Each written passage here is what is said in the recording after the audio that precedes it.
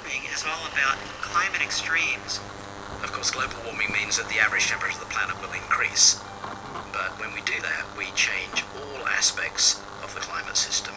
For example, if you warm up the oceans, then you increase the amount of evaporation.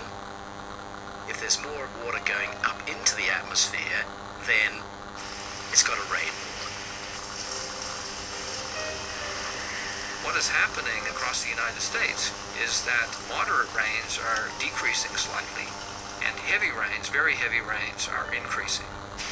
So that it rains harder when it does rain. It's the very heavy rains which are much more difficult to manage because they are the ones which cause local flooding, or if they continue, you know, more widespread flooding. These heavy rain events that then can flush the water from sanitation into clean water supplies. What that'll mean to our health in terms of water contamination is something we're going to have to contend with.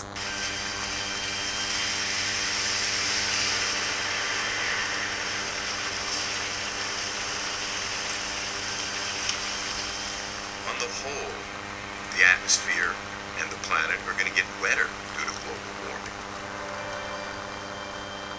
But in many areas, in places that are already sort of dry, the climate on the whole is going to get drier because the increased heat is just going to bake the moisture out of the soil. And in some areas, drought will become more and more common, and that's a very dangerous thing because it has a big impact not only on agriculture, but on the availability of drinking water. We all see different parts of the climate system, and we all experience the climate differently.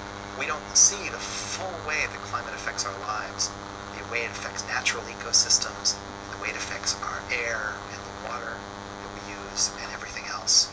I, I think what's really important when you look around your surroundings or just look outside is to realize how connected everything is.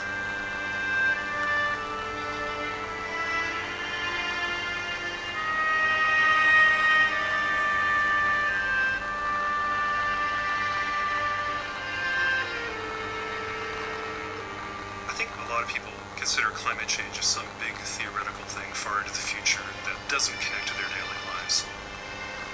And I don't really think that's true. Imagine, uh, imagine you live in New England, uh, where I grew up in Maine, for example, and seeing that the the time that the uh, the leaves turn color starts to change, or maybe they don't turn color at all anymore. Or your favorite skiing spot no longer gets snow or here in the upper Midwest where I live now, uh, you can't go ice fishing in the winter anymore. Or the geese that come in the spring don't come at the same time. All of those things that we take for granted about the pulse of the seasons, about when the maple syrup runs in the spring, or when the leaves turn in the fall, or when the snow comes for the kids.